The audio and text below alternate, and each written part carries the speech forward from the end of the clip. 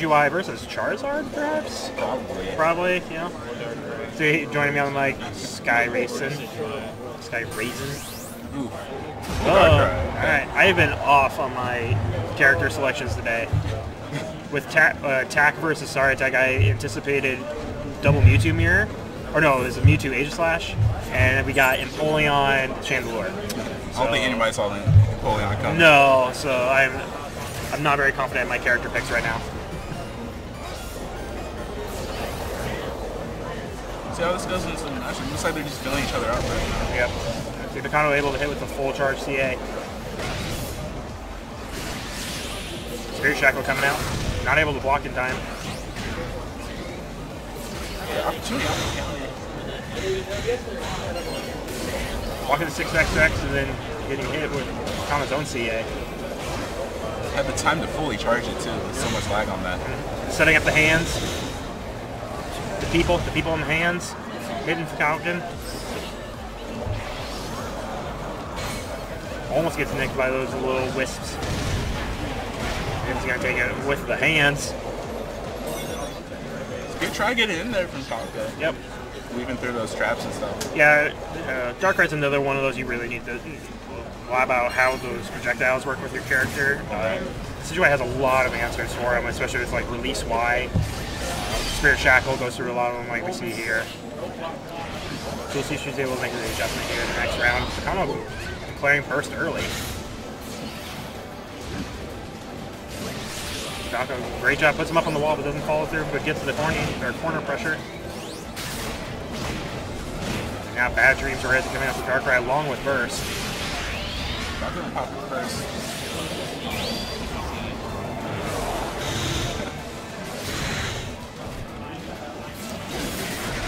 Waiting right there. Able to get, doesn't get the full wall conversion and misses the counter, or the burst attack. Just a, Oh wow, just very oh, good lord. yeah, full combo option. Oh, oh, it doesn't get the back. Naughty. Doing the wrong version. Not putting him against the wall, letting him out. Good Finnegan there for Kano. I got a whole bunch of pressure on Falco. Yep. He's actually going to try to charge to go into Bad Dreams Rising. Not able to get it. Falco pushes him out. Charge Spirit Shackle coming out. Not punishing. Oh, it is punishing the dive kick. 6XX punishing the dive kick.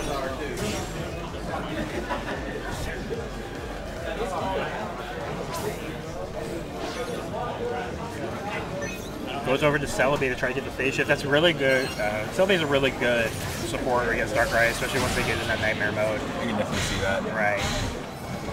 And like that was kind of when it was first revealed. Everyone was like, "Finally, we have a very reliable way of dealing with Darkrai." And then everyone figured out, "Oh, it's really not that great." Yeah, it's Um, pretty slow. it's like it's very slow. That's the problem. Like, it has a slow charge, but also activation on it is very slow. So like when you're in this range zero, uh, right next to each other, you can't activate it because you can easily get punished. Spirit Shackle not able to get the projectile by. Doesn't pop the trap, so then after just Hadouken inside of there. Celebi, counter frames, and just barely gets him. So I like to see that health in the dual phase here. Uh, just if Picano ever does get into that uh, nightmare mode. But I think Picano pressed the button, he reared back, and he did. He jumped. Don't jump versus Decidueye. You are always minus. Just don't press the button. Just don't don't play the game. Just, Press the don't. R button. just press the R button and uh, just take the grab, I guess. And release Y coming out there from Falco. They're sitting really nice here, but Picano gonna oh six XX Y. Why are you so broken? Please. Oh. Falco taking game one Yeah. Falco making a nice adjustment there and able to take game one. But 6XX, please. Please fix. Got Foon coaching. Fu mid-game coaching. The game's fine.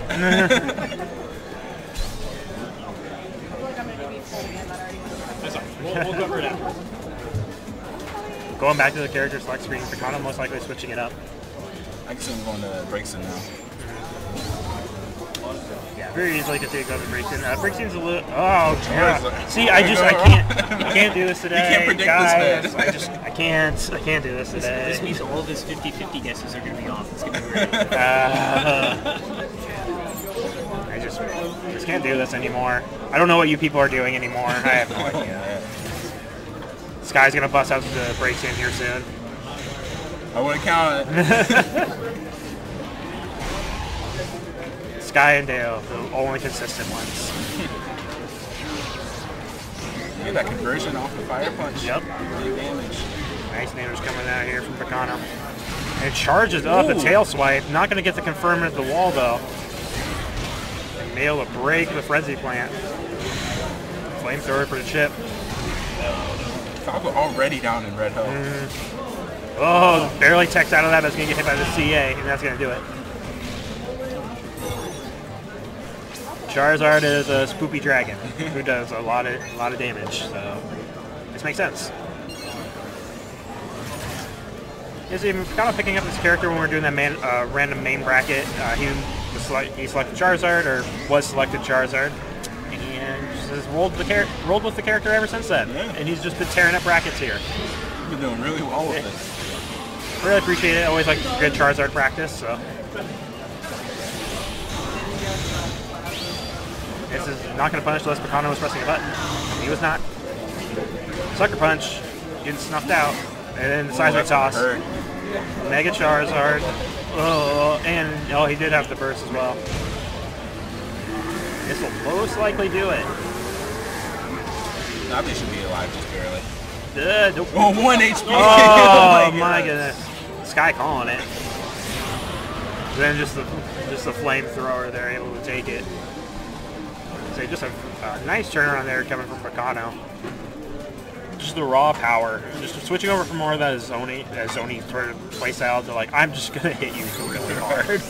if you have an answer for it, great. If you don't, I'm gonna hit you real hard. See if Falco can adjust here going to game three. That's it. I- There's a lot of things that need to happen. Like she, she let Picano like press or press her back to the wall, uh, and like force her to make decisions. If you can kind of keep your range and kind of keep the mid range here with Charizard, they have a lot less options. Nice soaring stance to try to get over, but Picano able to hit him with the flamethrower. Barely nicks with that CA. See, not able to cancel out of soaring stance time. Now see she's at the wall. Now she has to start making decisions, and she goes to the 6X and is able to get it. Drops the combo though. Oh, tries for the grab on the reset. Too slow. Mm-hmm. Counter releasing early. Rotom. Tries to punish, but is actually going to get punished for punishing. Whoa, that would have been ground. Nice 6X, smashing out of it. Calling Mew to contest the burst. Uh, and then the crit fire punch coming out from Picano. Falco making some really good decisions here Mm-hmm. at some points. Just needs to get them the string together really. Yeah, there's definitely a lot of great moments we're seeing. Uh, but just like this kind of these mid-range conversions. She's losing until she has to make a decision at the wall, and then she'll like uh, kind of guess correctly and do this. So now is a great time to put on some pressure. With whiffs the grab attempt, six XX going, tries to keep it plus.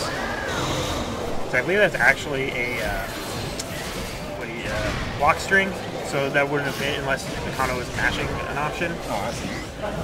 but I think she was actually plus enough that no matter what she really did, Picano was going to stay in shield at that point.